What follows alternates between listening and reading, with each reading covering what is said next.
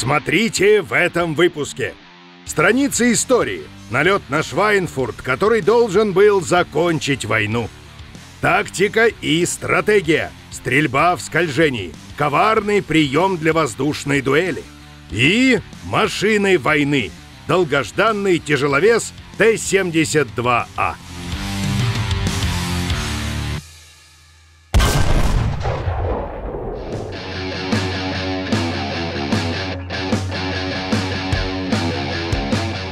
Встречайте! Новый советский ТОП. Представитель самой массовой линейки основных боевых танков в мире Т-72А. Эта машина пришла в игру с обновлением 1.85, получила боевой рейтинг 9,3 и может быть исследована сразу же после перехода на шестой ранг. То есть, обратите внимание, мы с вами получили топовый танк в обход прокачки ветки Т-64. Конструкционно Т-72 — это упрощенная версия поздних Т-64, которая унаследовала и плюсы, и минусы советских ОБТ. Давайте рассмотрим ее подробнее.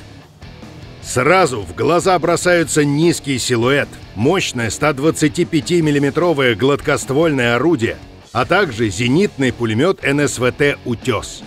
В движение танк приводит 780-сильный двигатель. Комбинированная броня корпуса состоит из катанных стальных листов и текстолита, а управляют этим почти 42-тонным монстром три члена экипажа, двое в башне и еще один в корпусе. Рядом с ними расположилась боеукладка карусельного типа и автомат заряжания, позволивший советским конструкторам снизить общий вес танка и обойтись без заряжающего. В целом, танк получился очень живучим. ВЛД может сдержать попадание XM-1, Абрамса и стоковых ОБПСов второго «Леопарда», а такое мало кому под силу на этом боевом рейтинге. Лоб башни сдерживает почти все доступные в игре ломы, а достигнув максимальной прокачки, вы сможете купить модификацию 83 -го года, у которой к ВЛД добавлен 16-миллиметровый бронелист – еще немного повышающий живучесть машины. Но это не значит, что танк неуязвим. Крупная НЛД лишена комбинированной защиты и может быть легко пробита из любого противотанкового орудия. Довольно уязвимо и декольте в верхней лобовой бронеплите. Все это накладывает на тактику определенные ограничения. Приходится по мере сил прятать НЛД и слегка доворачивать щеку башни во время выстрела противника – чтобы он не выбил казенник. А еще у Т-72А есть дымовой гранатомет, а также и дополнительный пулемет калибром 12,7 мм. Первый пригодится, чтобы безопасно отступить, когда расклад не в нашу пользу, а второй защитит от вертолетов и другой, не слишком бронированной воздушной и наземной техники. По скорости танк лишь ненамного превосходит советскую 64-ку, а американским и немецким соперникам на своем ранге уступает с большим запасом. Задним ходом он ползет 4 км в час. Ни в качели поиграть, ни отступить.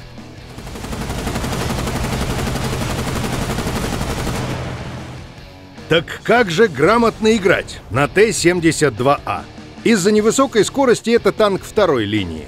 Он, прям скажем, вряд ли будет успевать на сражение первым. Но это и не нужно. Действуйте иначе. Выберите себе, назовем его спонсором, на более быстром танке и следуйте за ним, помогая в перестрелках и защищая его тыл. Вы получите свои заслуженные фраги, а союзник — поддержку, которой часто не хватает, когда пытаешься продавить фланг. А если вам по душе ближний бой на городских картах, или вы играете в аркаде, то обратите внимание, среди доступных снарядов есть мощнейший фугас с пробитием целых 47 мм. Он, если не ваншотит противника, то выбивает ему орудие, чтобы вы могли спокойно завершить расправу следующим выстрелом. В остальном же Т-72А это уже привычный игрокам советский ОБТ. Неторопливый, со средними углами вертикальной наводки, но зато хорошо вооруженный, весьма живучий и при этом небольшой по габаритам. Его оптимальная роль в команде – танк поддержки. И в этой роли он весьма хорош.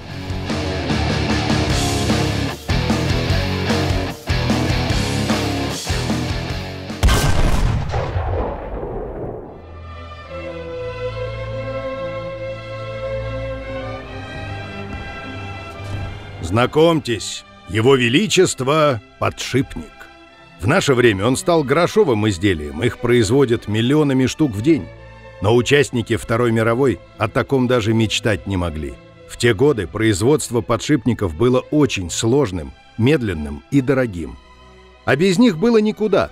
Транспортные узлы, авиастроительные и вообще любые машиностроительные заводы, судоверфи, нефтеперегонные комплексы, электростанции – Везде было нужно умопомрачительное количество драгоценных подшипников. Неудивительно, что командование ВВС США считало главной целью именно подшипниковые заводы противника.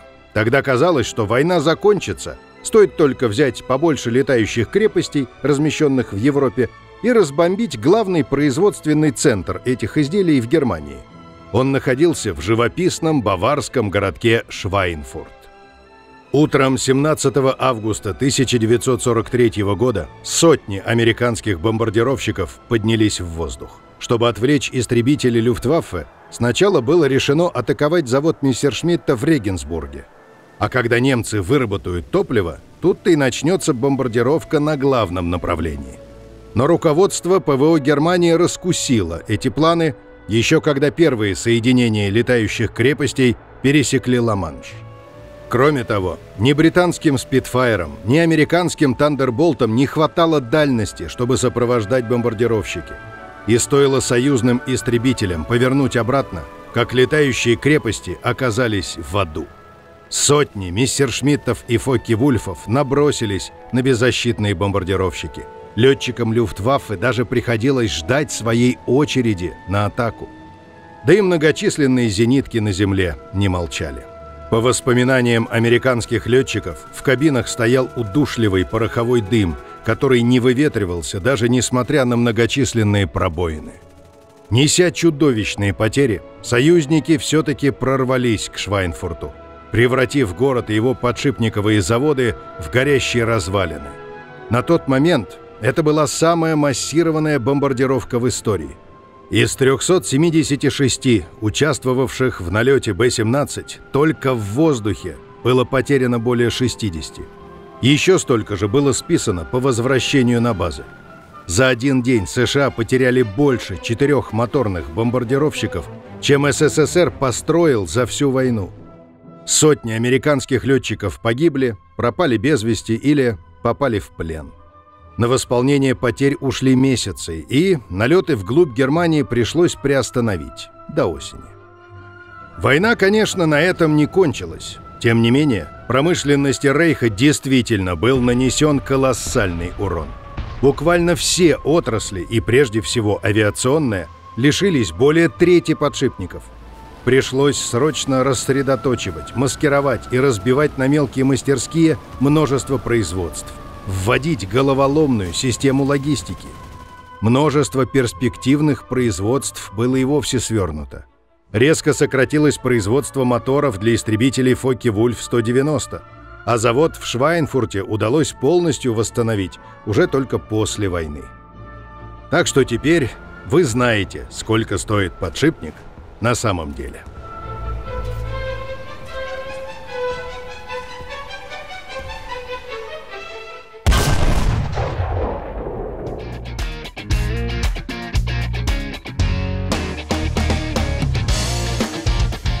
Стрельба в скольжении – полезный прием, позволяющий заметно повысить эффективность воздушных дуэлей.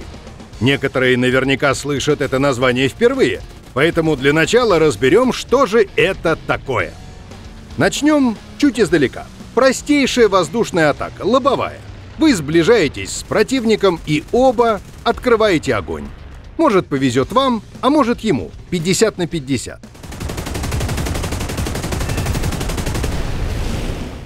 Очевидно, чтобы улучшить шансы на удачный исход, нужно как-то маневрировать, усложняя прицеливание оппоненту и не ухудшая при этом прицельность собственного огня. Давайте попробуем задействовать рули крена, клавиши A или D, И при этом наводиться мышью на то место, где противник окажется через пару секунд. Видите, что происходит? Руль направления пытается вернуть машину в горизонтальный полет, из-за чего она начинает как бы скользить. В симуляторном режиме этот маневр выполнить сложнее, придется использовать еще пару узлов управления. А вот в РБ хватит мыши и пары клавиш. Отправляя машину в скольжение, вы обманываете неопытного противника, заставляя его неправильно выбирать упреждение. Как результат, вражеские снаряды уходят мимо. В крайнем случае чуть заденут крыло. Конечно, грамотный оппонент быстро раскусит ваш маневр. Чтобы усложнить ему жизнь, не стоит однообразно скользить в одну сторону. Меняйте крен с одного крыла на другое, ломайте траекторию и снова возвращайтесь в скольжение. Суть маневра при этом не меняется. Сближаясь по непредсказуемой траектории, вы постоянно запутываете противника. Давайте посмотрим, как это выглядит на живом примере. При первом контакте с двух километров открываем огонь, затем резко меняем траекторию, вот так. И возвращаемся на курс к противнику. За километр-полтора становимся в скольжение, а через несколько секунд меняем его на другое крыло. По сути, главное, что требуется, чтобы наш маневр увенчался успехом, это научиться метко стрелять на большие дистанции. Но такой прием подойдет не всем самолетам. Если мы возьмем, к примеру, Фокки Вульф 190, его руль направления не будет успевать доворачивать нас до противника – Поэтому стоит выбирать машины с эффективными рулями направления, крыльевым вооружением и большим весом секундного залпа. С вооружением, расположенным в развале мотора или рядом с ним, будет чуть труднее, но к этому тоже можно приспособиться. И последний совет. Используйте ленту для скрытой атаки, чтобы не помогать противнику угадывать вашу траекторию по следам трассеров. Удачной охоты!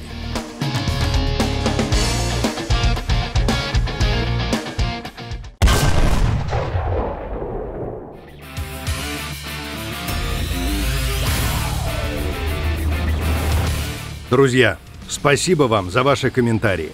Конечно, не в наших силах ответить на все из них в полигоне, а про многое мы просто не можем говорить раньше времени, как бы нам не хотелось с вами поделиться. Но, знайте, мы все читаем и очень благодарны вам и за похвалы, и за критику, и за идеи. Первый комментарий от Андрея Калинина. На карте Вьетнам городская точка недоступна одной из команд. Вы не так поняли. Привет, Андрей. Большое спасибо и вам, и всем другим комментаторам за терпение и за настойчивость. Гейм-дизайнеры внимательно изучили карту и приняли решение добавить мост и брод через канал, чтобы облегчить команде захват городской точки. Как опробуете в игре, пожалуйста, поделитесь впечатлениями. Пишет Даня Джемс. Как пробить КВ-1? Привет, Даня. Ну, одно из уязвимых мест КВ-1 — это зоны по бокам от маски орудия — а если удастся закружить КВ, стреляйте в погон башню. Ну и, конечно, важно на чем играть.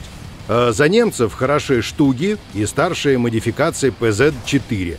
Они спокойно вскрывают КВ даже в лоб. За американцев — Шерманы с подкалиберными снарядами. За британцев подойдет любой танк, на котором стоит 17-фунтовка. А если предпочитаете премиумную технику, можем порекомендовать немецкий Т-34 и особенно японский Чи-Ну-2. Спрашивает Антон. С вводом флота появилась такая не самая понятная с точки зрения применения вещь, как глубинные бомбы. Не могли бы вы провести тест, как тот, что с авиабомбами? Привет, Антон. Да, спасибо за идею. Возьмем на вооружение в одном из следующих выпусков. Мы тесты любим. Кошка.ру М. Волк поправляет нас по мотивам выпуска об израильском танке – только «цааль», а не «цахал». В иврите нет твердого «л». А «ха» не имеет в русском языке правильного аналога, и проще его пропустить, произнеся «а». Привет, кошка.ру М. Волк. А с точки зрения иврита вы правы. Но по-русски мы ведь говорим, например, Абрамс, а не Эйбрамс. Понимаете? Париж говорим, а не Пари. Или там Эйнштейн, а не Айнштайн.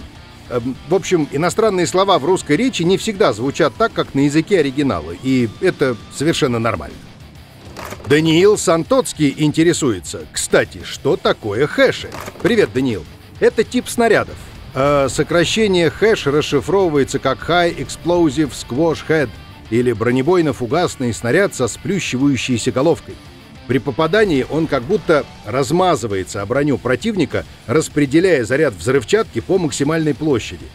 При подрыве образуется сильная взрывная волна направленного действия, и внутренняя сторона брони разлетается на осколки и поражает экипаж. У нас на канале, кстати, недавно был подробный обзор снарядов. Мы поставим для вас ссылку в описании к этому видео. А вот предложение от Олега Соколова. Ребята, как насчет страниц истории по израильским танкам, тому же Шоткалю? Олег, вам дружеский привет от нашего историка. Он эту тему уже третью неделю подряд предлагает. Но нам казалось, что зрителям в целом интереснее слушать не про конкретные виды техники, а про знаковые исторические события. Ну, знаете как, давайте устроим небольшой опрос. Пишите прямо в комментариях, что, техника или события. И последний вопрос на сегодня прислал Серый Казаков. Сергей, я извиняюсь, тяжело озвучивать актеров, в частности Арнольда Шварценеггера. И в какие проекты вас приглашают, если не секрет? Привет, Серый Казаков. Нет, актеров озвучивать не тяжело. Во-первых, это в принципе не самая тяжелая работа в мире, озвучка. На мой взгляд, тяжелая работа — это там, не знаю, кайлом долбить вечную мерзлоту. Или там нейрохирург там стоит и делает операцию на турецком седле. Это вот как-то вот это тяжелые все работы. Наши не очень. Если мы в нашей работе где-то что-то сделаем плохо, уж никто не умрет. Тут меньше и ответственность, и, и последствия как-то попроще. Во-вторых, э, для меня работа не тяжелая, потому что я ее люблю. Мне нравится это делать, я каждый день делаю с большим удовольствием. Да, по старой поговорке, выбери любимое дело, и тебе не придется ходить на работу ни дня. Вот я не хожу на работу ни дня. В-третьих, если брать конкретно Шварценеггера, то если сравнивать его со всякими прочими артистами, которых я периодически как-то делаю, нет, он не сложный. Для меня большая честь его озвучивать. Я каждый раз очень рад возможности участвовать. Но нет, он достаточно простой. Передавать то, что он играет, довольно просто. Гораздо тяжелее, не знаю, Джош Бролин, например. По поводу того, в какие проекты приглашать, есть не секрет. Ну, секрет, слушайте, у нас есть такая штука, мы подписываем, называется NDA, Non-Disclosure Agreement это вот, а не разглашение. Такая пачка бумаги толщиной с палец. Поэтому я, к сожалению, не могу рассказать, чего сейчас происходит и чего будет происходить в ближайшее. А все, что было, вы и так знаете, потому что забили там, посмотрели в Википедии и все. Спасибо вам большое за вопрос. На сегодня все. Это был Полигон от Гайдзин Entertainment. И, кстати, спасибо вам за все те теплые слова, которыми вы встретили перезапуск программы и за конструктивную критику. Подписывайтесь на канал, чтобы не пропускать свежие выпуски обновленного полигона, жмите на колокольчик под видео, ставьте лайки и делитесь впечатлениями в комментариях. Увидимся ровно через неделю.